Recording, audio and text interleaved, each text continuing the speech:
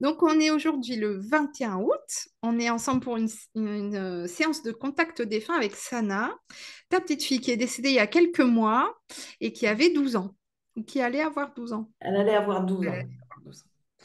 Alors, moi, quand j'ai reçu les photos, euh, tout de suite, hein, je me suis dit, ah, ça va pas être comme les autres.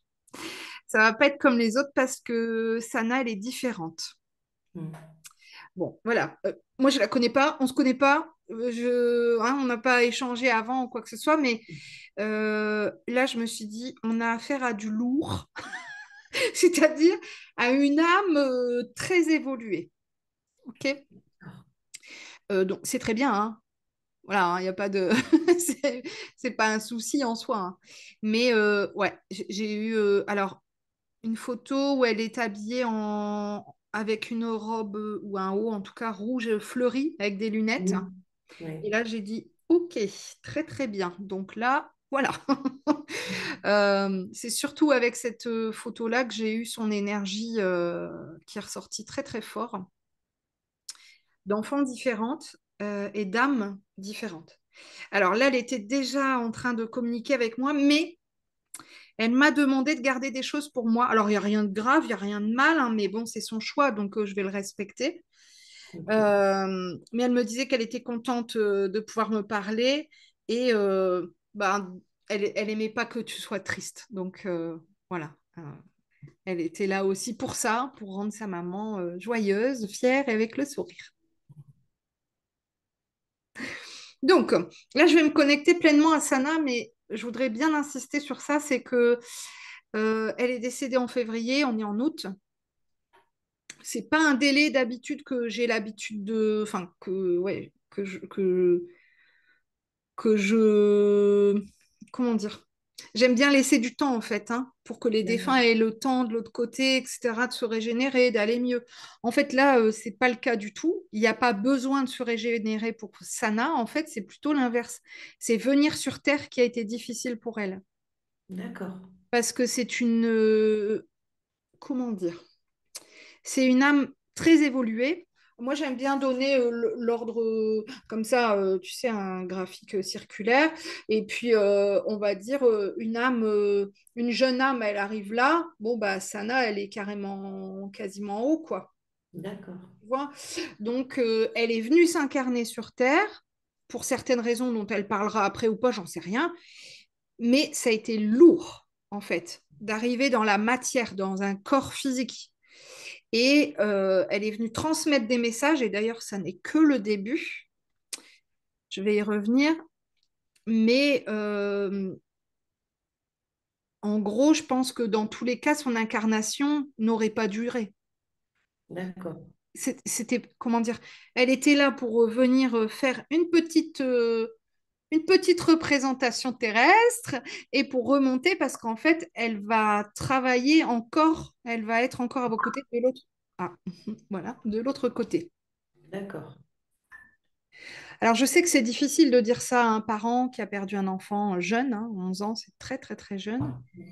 Euh, mais c'est tellement flagrant, en fait, que on peut pas, je ne peux pas passer à côté de cette information-là. Elle est vraiment primordiale. Mais étrangement, je le savais que je l'aurais pas eu longtemps. Je m'attendais pas quand même à 11 ans, mais je l'ai dit il y a 5 ans que Ah ouais, ouais, je savais. Mais j'aurais j'aurais pensé au moins, tu vois, 18, 20 ans. ouais, ouais, d'accord. Ok, ouais. Euh, alors, elle me dit, j'étais pas adaptée à ce monde. Je lis pas le haut parce que, voilà, elle m'a demandé de pas le dire. Il y a Rien de bien méchant, mais je respecte sa parole. Elle me dit, j'étais pas adaptée à ce monde. Euh, toi, tu le sais, tu sais très bien comment ça fonctionne. Alors, je ne sais pas euh, de quoi elle est partie ou quoi que ce soit, mais pour ma part, moi, j'ai été éducatrice spécialisée. Donc, j'ai travaillé avec des enfants qui étaient, et des adultes porteurs de handicap euh, et de maladies. Et là, je pense qu'il y a quelque chose de cet ordre-là. Elle, elle, elle était là, mais elle n'était pas là, en fait. Voilà. Je ne sais pas si elle, avait peut-être une forme d'autisme ou j'en sais rien, mais en fait, on voit qu'elle faisait des allers-retours. Ouais, ouais, c'est ça. Euh, donc, euh, parce que c'était trop lourd, en fait. Pour une âme comme elle, de venir s'incarner sur Terre, c'est juste pas possible, en fait. C'était juste pas possible. Donc, il fallait qu'elle puisse faire ses allers-retours. Et euh, j'avais eu un- plusieurs témoignages de jeunes autistes qui parlent de ça, qui disent, ben moi, je, je suis là et je suis pas là, quoi. D'accord. Donc, qu'est-ce qu'elle veut nous dire, cette petite jeune fille, aujourd'hui? Je vais me remettre euh, pleinement sur ses photos. Donc, je pense qu'il y a plusieurs, euh, euh, dates. euh, je n'ai pas regardé. Moi, je regarde surtout le regard. Euh, ouais, je vois qu'on voit des dates là, 2023. Moi, j'ai pas fait attention, j'ai essayé de sélectionner où elle avait un visage différent, justement. Ah, d'accord, ok. Bon, moi, je vais rester sur celle. Bon, là, c'est écrit 14 août 2023, où elle, elle a ce petit haut avec des fleurs, là, parce que c'est vraiment celle où été plus connectée à elle. Euh, elle me dit oui, c'est ça. Bon, ça lui va. Donc, je vais lui proposer de, là, parce qu'elle m'avait fait écrire, hein, donc on était sur euh, cette ce type de canalisation-là. Là, je vais lui proposer de communiquer. Ok, alors elle veut directement passer par moi. C'est-à-dire, parfois, il y a des défunts qui veulent utiliser ma voix. Donc, je vais me... Oui, bon, elle est pressée, hein, dis donc, allez, c'est pousse-toi. Donc, en fait, je vais prêter mon corps, ma voix à Sana pour qu'elle puisse communiquer directement avec toi ou avec je ne sais pas qui. Euh, donc, ça peut paraître un petit peu impressionnant, mais je suis toujours là un peu à côté, sauf que tout ce qu'elle va transmettre, je ne, je n'en ai pas souvenir. Ou alors, des fois, juste les derniers mots, mais je ne sais pas ce qu'elle va dire ni ce qui sera dit. Moi, ça ne s'imprime pas dans ma mémoire puisque ça ne sera pas ma mémoire. Donc, je vais lui laisser la place.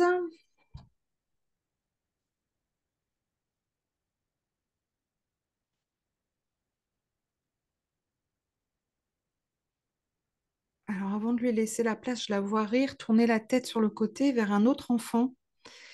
Est-ce qu'il y a eu une perte d'un autre enfant? Non, Alors, euh, peut-être un enfant de la famille ou d'amis proches, parce que je vois, euh, elles se connaissent, quoi. d'accord. Un bébé, un avortement, j'en sais rien. Elle voulait que ça soit dit. Elle voulait que qu'on sache que cet enfant est là avec elle.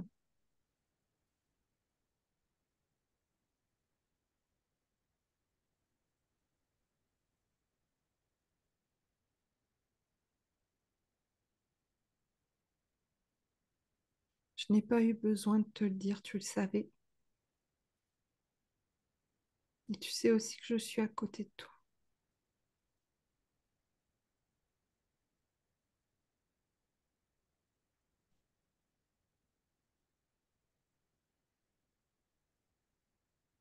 Je vole.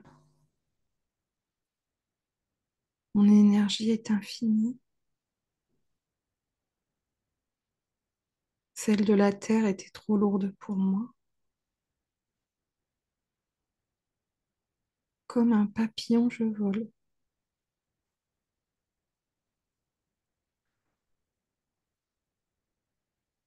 Même si mon corps s'est arrêté,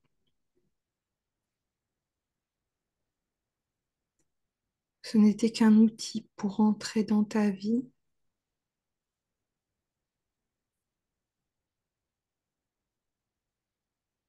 et en faire partie.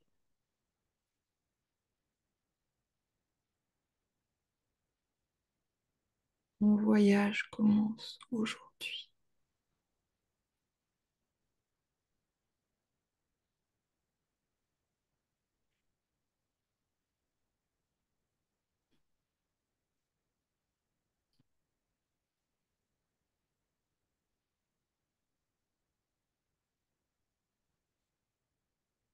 Alors, je suis revenue, mais j'ai eu l'impression en fait d'avoir du mal à respirer. Comme s'il fallait que je reprenne ma respiration beaucoup, souvent. Est-ce qu'elle a eu, euh, elle a été sous respirateur à la fin, elle a été intubée, quelque chose comme ça? Non, mais je, je pense qu'elle est partie en inhalant son repas. Ouais, donc, euh, ok, ouais. Ouais, donc elle a fait une fausse route. Ouais. Ouais. Elle était épileptique, mais sévère. Ah, d'accord. Ah oui, donc je comprends mieux les allers-retours. Hmm. Ah oui, d'accord. Ah oui, ouais. Ok.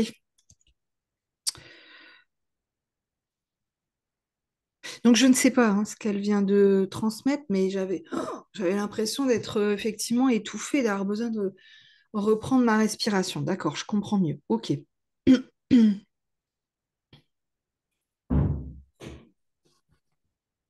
Alors là, juste, je précise, on vient d'entendre, mais je pense que c'est un bruit chez toi. hein. Oui, Voilà. Je le précise parce que des fois, quand on réécoute, on se dit, mince, il y a du bruit. Alors là, pour l'instant, je n'ai pas entendu de voix.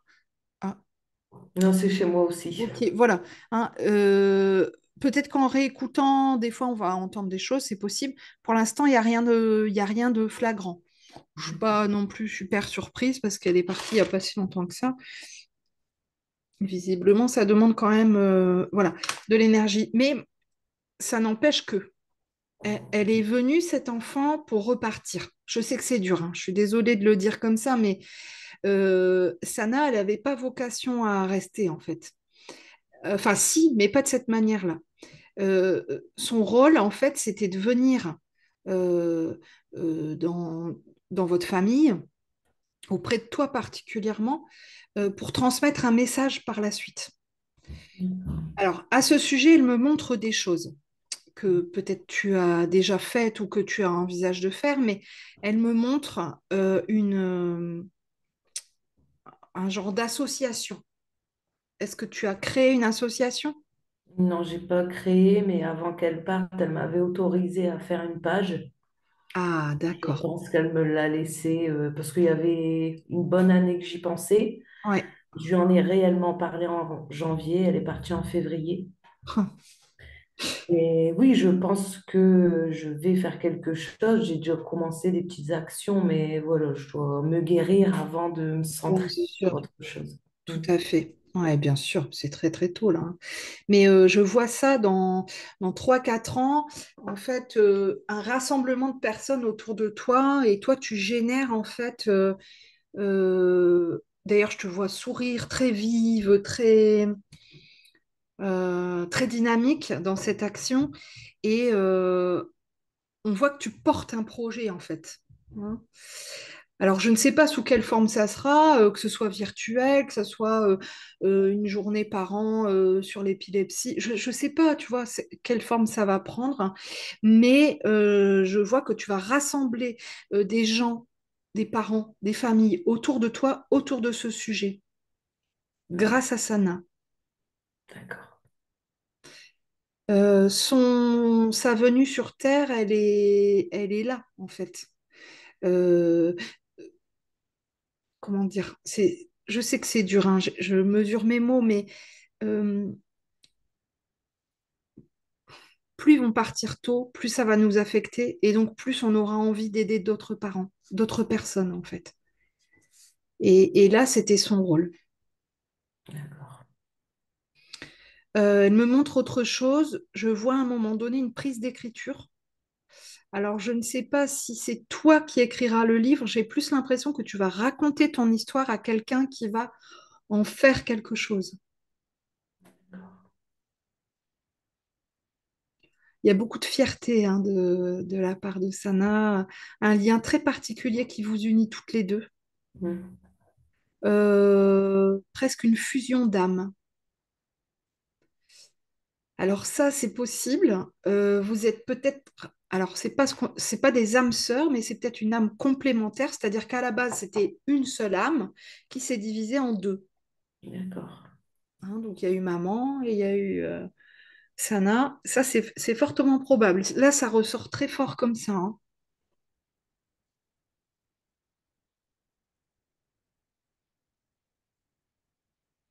Alors, elle me fait ressentir tout ça, elle me montre des choses, mais elle parle pas beaucoup. hein. C'est plus du ressenti là. D'accord. Euh, Par contre, là, je la vois prendre dans ses bras un autre enfant. Euh, est-ce qu'elle a une sœur, une petite sœur? Non, une grande sœur. J'ai une nièce qui avait un an, un an plus jeune que Sana. Et Ah, elles elles étaient proches? proches, très Ah très ouais, ok, d'accord. Ouais. Donc là, c'est un peu pour dire, bah, je pense à elle, quoi. hein. Mm. Je pense que là aussi, il y avait un lien d'âme particulier, pour toutes les deux.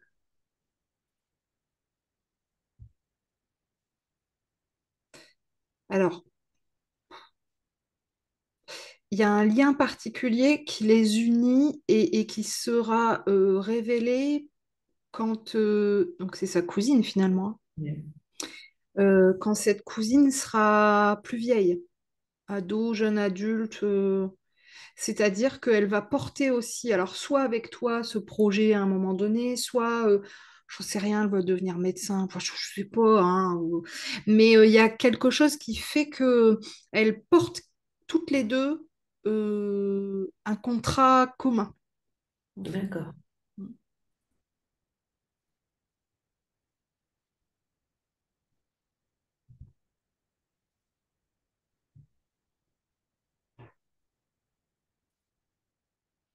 Elle- en fait, elle est en train de me montrer comment se, comment se décortique euh, ce contrat que vous avez passé tous ensemble, parce qu'en fait, vous n'êtes pas qu'à trois. Donc, il y avait vous, le noyau, donc c'est-à-dire toi, Sana, sa cousine, la maman de sa cousine, mais un peu plus en retrait. Mhm. Mhm. Euh, et il y a un homme, mais euh, donc je pense son papa, mais il y a un pied dedans, un pied dehors. C'est compliqué. C'est pas, pas la même chose. Euh, son papa, lui, il veut tourner la tête vers autre chose. Il veut, il veut avancer, il veut tourner la page euh, euh, pour, justement pour faire son deuil. Parce que rester euh, dans cette euh, dynamique, ça ne l'aidera pas à faire son propre deuil.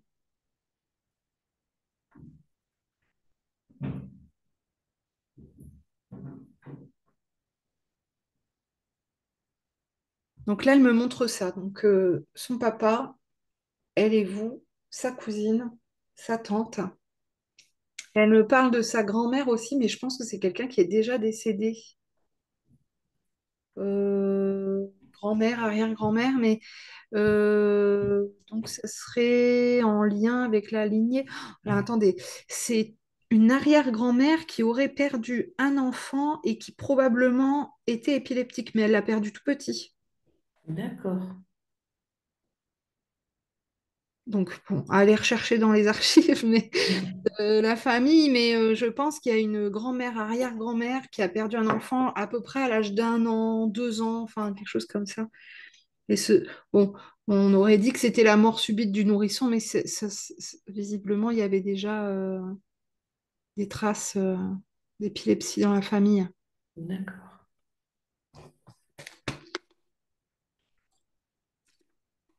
Alors, c'est super intéressant ce qu'elle est en train de dire, Sana, c'est que moi qui travaille là-dedans, dans les transgénérationnels, les constellations familiales, etc., bien souvent, nous, on vient pour libérer des traumas et éviter en fait ce genre de choses. Et elle, elle me dit surtout pas, parce que là, dans son cas à elle, l'objectif était voulu. C'est-à-dire, elle a tiré, euh, comment dire, le fil de l'épilepsie jusqu'à elle pour le mettre en place, pour que derrière, il puisse y avoir bah, voilà, des choses qui vont euh, prendre plus d'ampleur que, euh, euh, que si on avait essayé de couper le truc et, et que ça s'arrête là. Je sais pas si je suis claire dans ce que j'explique. Aussi, j'ai compris. Ouais. Et je trouve ça juste incroyable parce que là, elle est en train de nous donner une très belle leçon là. Je vais forcément en parler dans une autre vidéo parce que c'est euh, c'est un point extrêmement important qu'elle développe là. Ça veut dire ne pas forcément chercher à tout guérir, euh, mais être plutôt dans l'acceptation de ce qui est parce que ce qui est a peut-être une raison plus grande en fait. Et là, c'est tout à fait ça pour Sana. Elle n'est pas venue, je suis désolée, hein, sans vouloir minimiser, parce que c'est c'est une petite puce adorable, mais elle n'est pas venue pour être Sana, euh, la fille de Ludivine. Elle est venue pour être Sana, avec toute son histoire, avec tout son bagage, pouvoir partager tout ça avec le plus grand nombre. D'ailleurs, rien que cette vidéo, de toute façon, va aider euh, sûrement de nombreuses personnes, de nombreux parents, euh, de nombreuses familles et euh, des frères et sœurs aussi. et, et là, elle est déjà en train de, de- voilà, de développer ce potentiel qu'elle était venue. C'est comme une petite graine qu'elle est venue mettre sur terre et maintenant, ça pousse. D'accord. Hmm.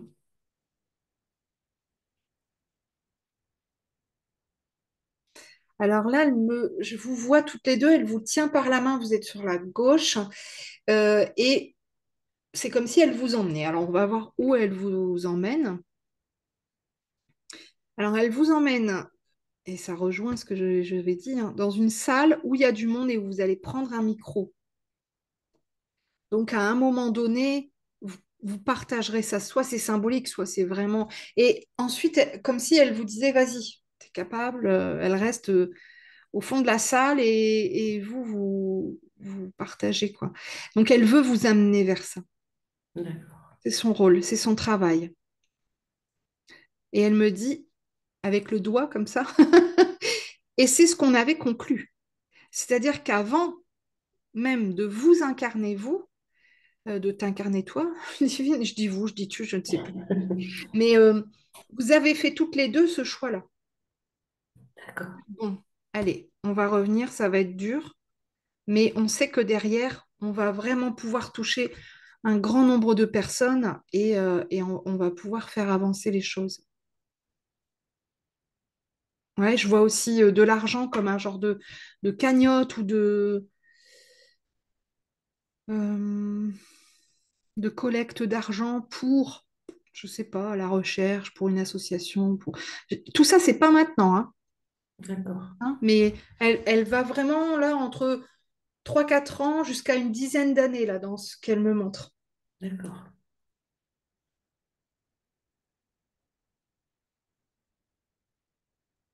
Elle me dit oui, il faut pas faire peur à maman parce que là, elle n'a pas le temps.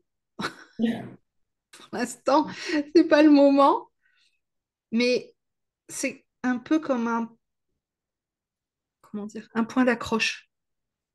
Comme si elle vous disait, tu vois, voilà, ensemble, on va arriver à ça. On va faire ça toutes les deux et voilà, on va y arriver. Donc, n'aie pas peur, hein, même quand tu vas avoir euh, des difficultés dans ce que tu veux créer, dans ce que tu veux mettre en place, des bâtons dans les roues, du retard, du machin. Pas de panique, ça arrivera au moment où ça doit arriver. Elle va y veiller d'ailleurs. D'accord.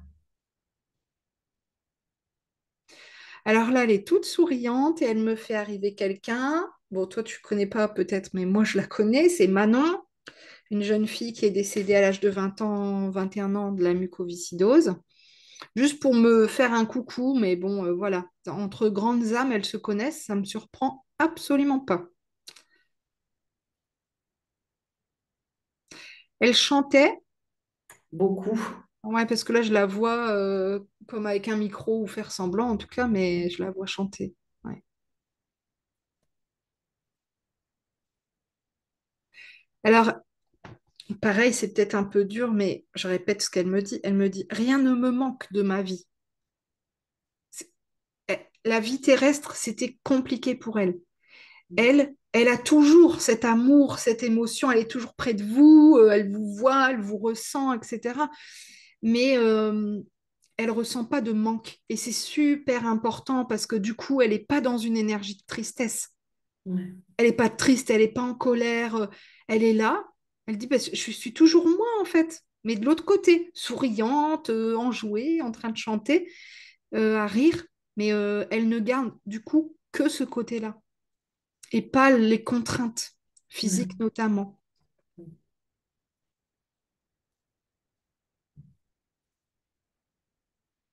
Alors, elle me dit, oui, tu peux en parler. Parce que moi, j'avais une théorie sur l'épilepsie, euh, une théorie médiumnique euh, euh, qui n'a rien de scientifique, attention, hein, je, reviens bien là-dessus, mais en tant qu'éducatrice spécialisée et en tant que médium, j'ai pu croiser certaines informations et en réalité, il s'avérerait, je le mets bien au conditionnel, que l'épilepsie soit en fait effectivement des sortes de décrochage euh, de l'âme Euh, et donc, l'âme qui a besoin, le corps étant trop lourd, euh, l'âme a besoin de souffler, partir.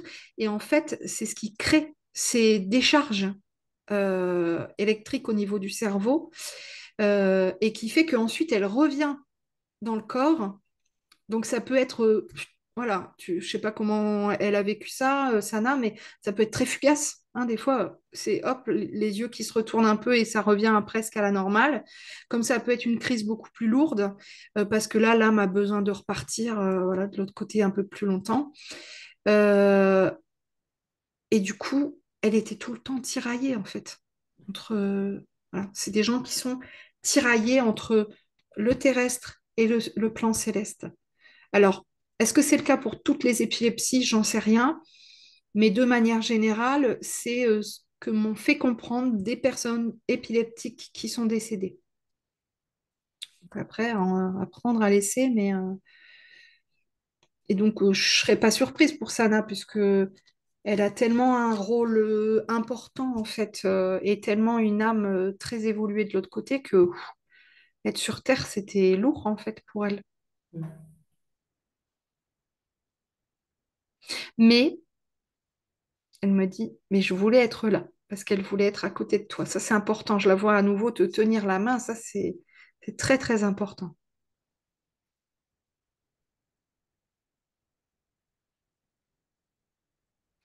Alors elle dit, moi j'ai pas besoin euh, qu'on m'envoie des belles pensées, de l'énergie, machin. Tout va bien pour elle. Hein.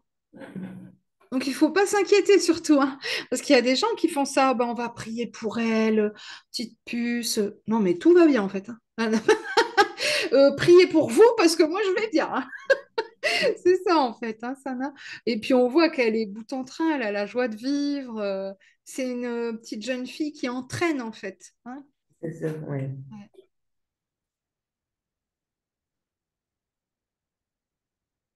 Et euh, c'est enfin, c'est drôle, c'est drôle, mais je la, je la vois et je, je la vois euh, avoir des rêves, c'est-à-dire qu'elle se projetait en fait. Hein, euh, à l'âge adulte, ou oh, quand je serai grande, je rêverai de faire ça. Ou, Mm. et c'est beau, quoi, pour un enfant malade, d'avoir toujours cet espoir de se dire, allez, ça va aller, je vais y arriver, et, et de réussir à se projeter. C'est, une très, très belle leçon de vie. Ah ben, complètement, je le dis toujours, ça a été une leçon de vie incroyable, mais incroyable. Des fois, on se plaint pour des conneries, alors que Ouais, ces enfants-là, euh, ils ouais, gèrent, quoi. ouais. Elle faisait des crises, elle nous regardait. Ça va? Bah ouais, nous, ça va, c'est toi, quoi. Euh, Ouais, cœur. Mais on voit, ouais, on voit cette, euh, c- cette, cette envie de vivre, cette, euh, Mm, ouais, cette présence. Elle a vraiment une présence. hein, comme quelqu'un qui arrive dans une pièce, on dit que, oh punaise, il a du charisme. On va souvent parler d'adultes où elle a du charisme. Euh, là, euh, Sana, elle arrive dans la pièce, elle arrive. Voilà, on sent sa présence, quoi. hein. Mais c'est pour ça qu'elle manque beaucoup et à énormément de monde. Ouais, C'est un, gros vide. Ouais, je me doute. Mm.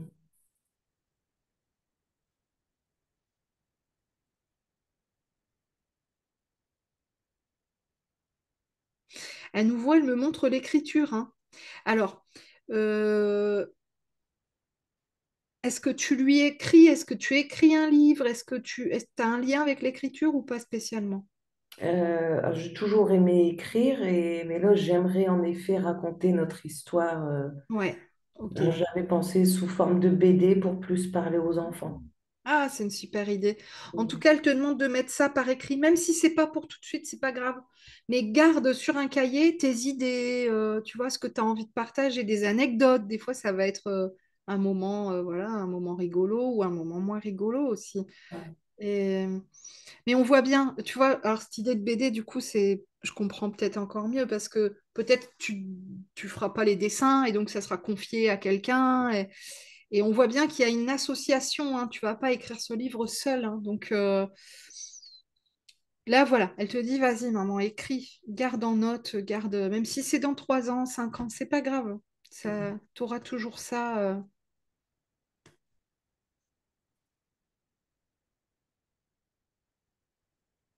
Mais ouais, je, vois bien son petit visage dessiné euh, un coup de crayon, effectivement. Ouais. Mm.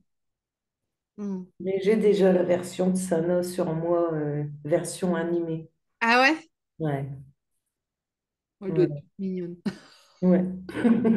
Mm. Alors, est-ce qu'elle a encore envie de nous transmettre quelque chose? Alors là, je la vois baisser la tête. C'est la première fois depuis tout à l'heure que je la vois un petit peu, je peux pas dire triste, mais c'est un peu plus compliqué pour elle. Là, c'est pour son papa. Et euh, elle me dit, enfin, elle lui dit, je suis désolée. On voit que la gestion du deuil est pas la même. Euh, peut-être quelqu'un qui verbalise moins, qui fait semblant de rien, peut-être même. Mais euh, ouais, il y a une souffrance qui est, qui est là, qui est bien présente et euh, c'est comme si elle avait ce besoin de s'excuser en fait, de la peine que son départ peut, peut causer.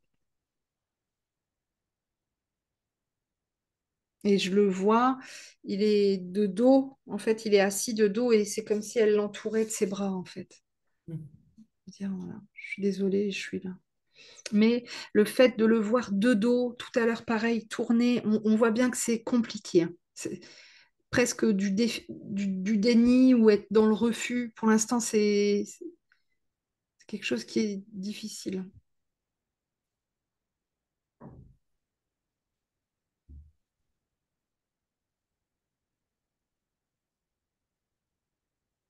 Bon, là, ça y est, elle est repartie avec son petit côté dynamique.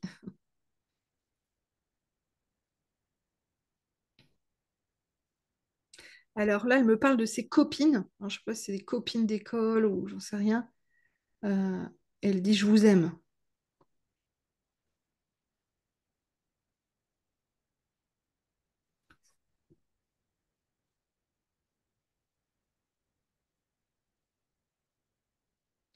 Elle faisait euh, des vidéos, euh, TikTok ou j'en sais rien. Ouais. Ah ouais, c'est ça, parce que je la vois filmer devant le téléphone. Euh, Ah, elle m'a laissé des pépites, franchement. euh, ouais. c'est super ça.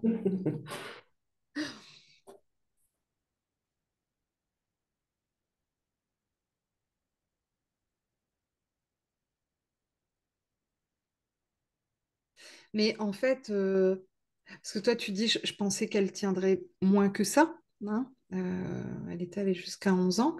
Mais il n'y a pas eu spécialement d'aggravation à la fin. C'est arrivé comme ça. Bah, c'est, oui, d'autant plus que le lundi, j'ai demandé, j'ai mis des mots à la neuro. Je lui ai dit, est-ce qu'elle peut en partir? La neuro m'a dit non avec tout ce qu'elle a déjà subi. Et le vendredi, ça, là, je me suis réveillée au matin, on dormait à deux et elle Hmm, était déjà plus là. hmm. Donc j'avoue que dur, dur quand même. Ouais, je comprends. dis- disons qu'il y a eu plein d'hospitalisations où c'était compliqué de la faire revenir, où, où là, ça aurait pu se produire. Ouais, je comprends. Hmm. Et finalement, au soir, enfin oui, elle a fait une crise au soir, mais derrière, elle a mangé, maman, je vais me coucher, tu me feras des gratouilles. Ouais. Enfin voilà, une vie banale pour nous. Hmm. Ouais, c'est ça, c'est ce que je vois. Comme si elle est partie alors qu'il n'y avait pas eu d'aggravation et pas de, de signe avant-coureur, entre guillemets, quoi. Non, Hmm. il n'y a même pas eu de crise puisque je dormais avec, elle avait un bracelet qui m'alertait et Ouais, non, il n'a pas sonné. C'est que, effectivement, ça, c'est mon interprétation. hein. Les fois où ils l'ont ré- où ils ont réussi en, en, hospita- en hospitalisation à la faire revenir, elle aurait peut-être dû partir, quoi, en fait, tu vois. Et donc, euh, elle était peut-être prête, en fait, à partir. hein. Et, et là, euh, c'est mon avis, hein. Mais je me dis, oh, mais quelle chance qu'elle soit partie tranquillement, en dormant à côté de toi en plus. Ouais. Et puis je pense réellement qu'elle le savait. Il y a eu trop de, trop de signes, trop de choses, trop, trop. Elle savait, inconsciemment, mais elle savait. Mm, Mm. mm.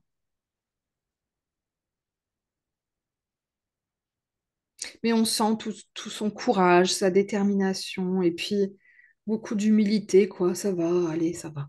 Allez. Mm. C'est Ouais. C'est effectivement une très très belle leçon de vie. Ouais.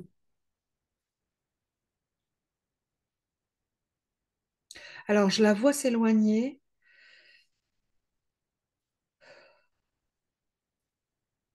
Je pense que ça a dû lui demander quand même beaucoup d'énergie de venir là.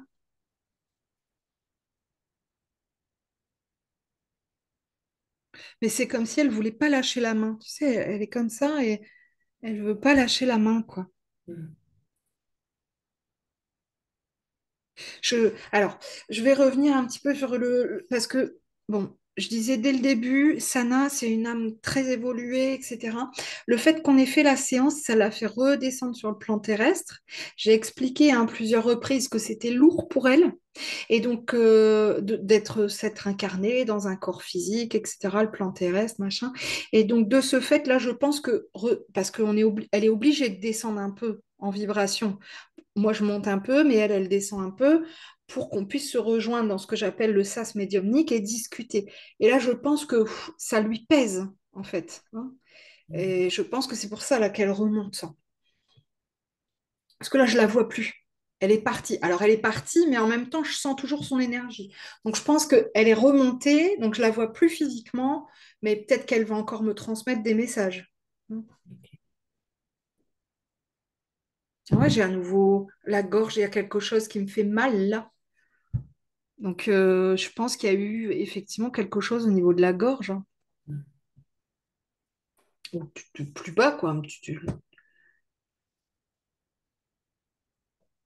quelque chose de coincé, j'en sais rien.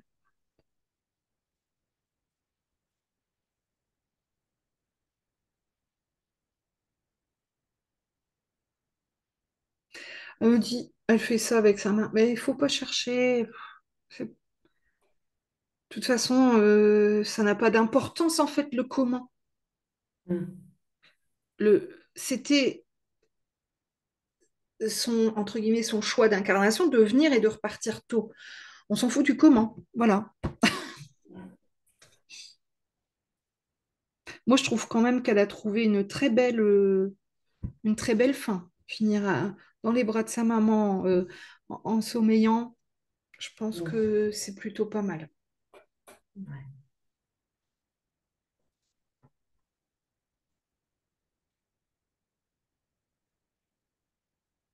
Mmh, On sent qu'elle fait ça, elle monte, elle redescend. euh. Elle est tentée en fait de revenir, euh, mais bon, elle sent que c'est- on l'a de l'autre côté. De- dans tous les cas, de toute façon, on entendra encore parler de Sana. Ça, c'est certain, euh, quelle que soit euh, la forme, euh, le moment, mais c'est certain que c'est une enfant qui est arrivée sur Terre pour une raison bien précise, pour un objectif bien précis, et elle s'arrêtera pas en si bon chemin. Et, là, c'est vraiment le, le dé... En fait, c'est comme si c'était le début. Je sais pas comment dire. Elle a vécu, mais en fait, là, c'est un nouveau début, quoi. D'accord. C'est le début de son aventure. C'est comme si elle s'était préparée en venant sur Terre et maintenant, ok, maintenant on peut travailler. Mais ça m'étonne pas parce que je dis toujours, on n'a pas pu vivre tout ça pour rien. Voilà, il y a quelque chose à faire, il y a... Ah ouais, tout à fait. Ouais. Ça prendra du temps parce que là, c'est pas le moment tout de suite, mais quoique elle a déjà diffusé quelques, euh, quelques rayons, j'ai envie de dire. Mais hum, c'est certain que en fait, son, chemin sur Terre n'est pas terminé. Il va juste se faire d'une autre manière. Mm.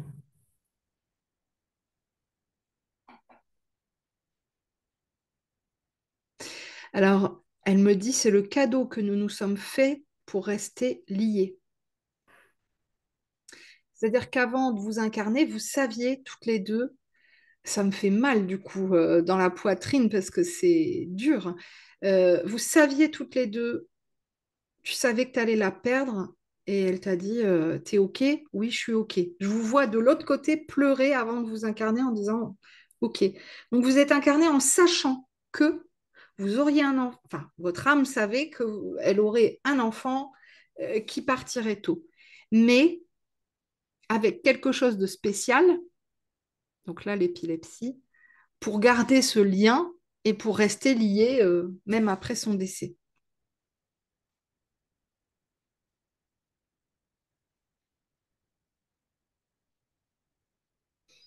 Alors là, je ressens plus son énergie, je pense qu'elle est remontée.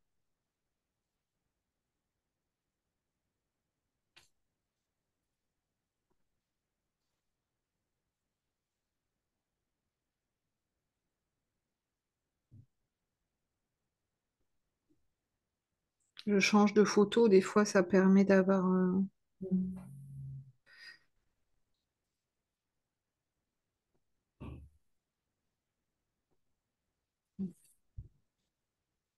Non, je, la- la sens plus du tout et euh, ça, s'est un peu comme évaporé. Et là, j'ai le sas médiumnique qui se referme. Donc, euh, je pense que c'était beaucoup d'énergie pour elle. Ouais. C'est déjà génial qu'elle soit venue comme ça, qu'elle nous ait transmis tous ces messages. Et on sent sa force vive, en fait. C'est euh, ouais, c'est vraiment... euh, allez, euh, on avance, il y a pire, quoi. Enfin, Ouais. parle pour elle, hein. Ouais, bah ouais, parce que je me dis même pourquoi, quelle idée on Parce a que de. d'avoir un, de perdre un enfant, je sais pas s'il y a pire. Mais pour elle, euh, bon, bah allez, ça va, ça va aller, quoi. Ouais, non, mais ça m'étonne même pas, c'est ouais. Mm. Il pouvait lui arriver plein de choses, c'est pas grave. Oui, c'est ça, voilà, c'est rien. Ouais. Ouais. Mhm. En tout cas, euh, je trouve que c'est... Enfin voilà, déjà, je te remercie d'accepter la diffusion de cette vidéo parce que vraiment, je pense qu'elle va pouvoir servir à plein de parents euh, et visiblement à, à- voilà, à, des parents bien spécifiques aussi. Euh, mais bon, tout parent ayant perdu un enfant, je pense que c'est toujours difficile, quoi qu'il en soit, avec ou sans maladie. Donc, euh, et, et puis, euh, nous, de manière générale, pour nous tous, nous donner quand même une belle leçon, un beau coup de pied au cul, quoi. Mhm. Euh, voilà, comme elle le dit, voilà, il y a pire dans la vie, allez, on avance, quoi. On- Il y a pire que nos petits tracas du quotidien, il y a pire que euh, la voiture qui a un pneu crevé, que voilà, des petites broutilles. euh, voilà, il y a bien, bien, bien pire et, et on se doit d'avancer. Mm. Ouais. Alors, je vais arrêter ici la vidéo, mais je te garde en ligne. Ok.